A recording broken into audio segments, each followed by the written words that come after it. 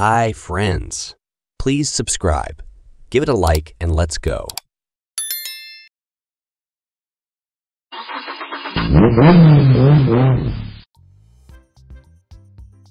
The psychic replied, I cannot tell that, but I do know you will die on a Ukrainian holiday. Putin asked, Which holiday? Whichever day you die will be a Ukrainian holiday. Did you hear that Putin won the election with 76.6% of the vote last time?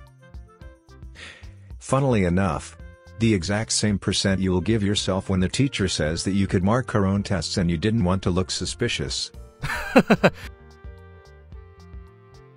Russian Prime Minister Mishustin comes to Putin and nervously tells him to abolish time zones. I fly to another city, call home, and everyone is asleep. I woke you up at 4 a.m., but I thought it was only evening. I called Olaf Scholz to congratulate him on his birthday and he told me he had it yesterday.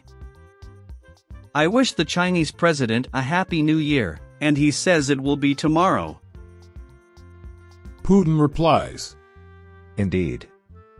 But that's only minor stuff. Remember when that plane crashed with Prigozhin on board? I called his family to express my condolences. But the plane hadn't taken off yet.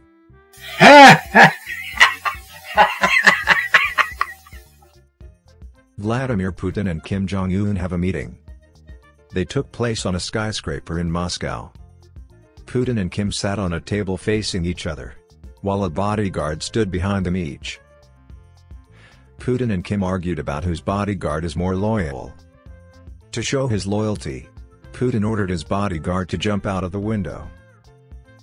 His bodyguard was surprised and bewildered. After some hesitation, he knelt his knee over his president and cried, Please spare me, my president.